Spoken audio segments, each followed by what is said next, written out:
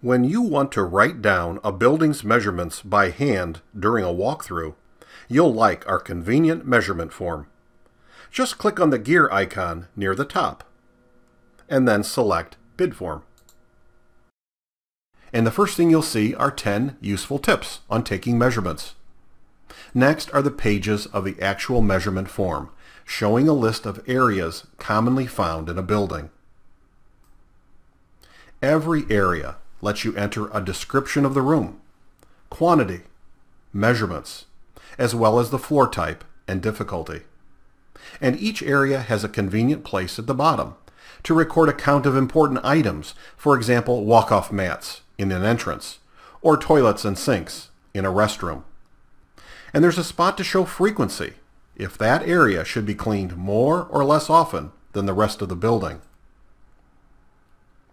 Near the end, there's a page available where you can enter your own area name if you'd like. When you're ready, you'll be able to print the list and easily enter the information